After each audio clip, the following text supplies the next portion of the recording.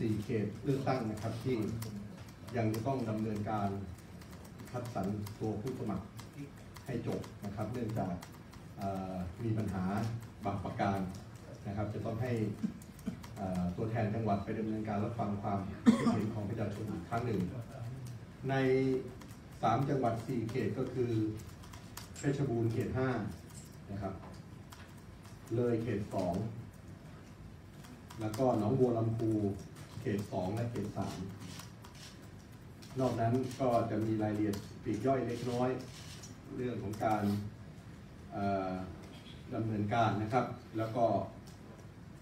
ภาคใต้ก็จบหมดแล้วนะครับ เพราะฉะนั้นการดำเนินการส่วนที่เหลืออยู่ทั้งหมด 3 จังหวัด4เขตก็ให้รองหัวหน้าภาคไปดำเนินการรับฟังความคิดเห็นของประชาชนนะครับ โดยจะให้ วันที่ 10 รับสมัครผู้สมัครสสเขตใน 3 จังหวัด 4 เขตที่เหลือดังกล่าว แล้วก็รับฟังความคิดเห็นวันที่ 11 มกราคม แล้วก็ทางกรรมการบริหารพรรคก็จะพิจารณาให้แล้วเสร็จทั้งหมด 4 เขต ภายในวันที่ 14 มกราคม ตามตารางเวลาเลือกตั้งเดิมที่ได้เคยมีกำหนดไว้นะครับ ส่วนรายละเอียดอย่างอื่นนะครับ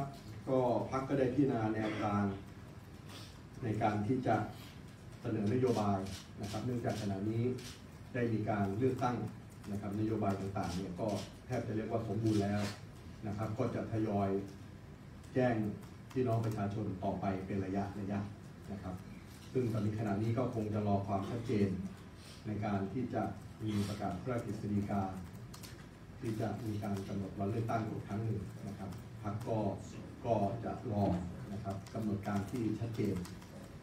นะครับที่